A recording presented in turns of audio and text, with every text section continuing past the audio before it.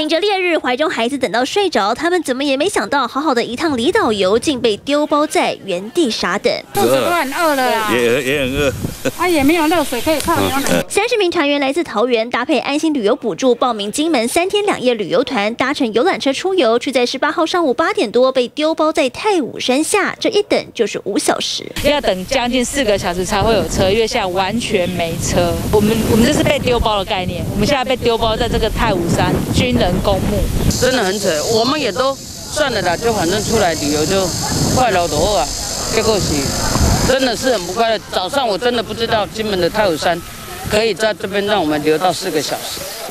小朋友爱困的，大概把爸阿母啊拢面臭嘟嘟啊啦，看怎么办？旅客等出火气，就是因为这个团出发前三天曾临时告知，既没抢到游览车，也没订到房间，所以无法成团。但团员假都请好了，最终好不容易瞧出车子，到了景点却被放下。折腾了半天，旅行社最终出动一辆箱型车，将团员载往下个景点，但依旧得分批接驳。现在因为有跳岛啊，那车子不够啊，不是劝劝他们，公司要赔他们团费的百分之三十在这边，你们自己看。开开心心出去玩，却惨遭丢包，玩性全无。金门县政府观光处将介入调查，厘清后续责任。记者李俊龙、黄明君、李佩轩今晚报道。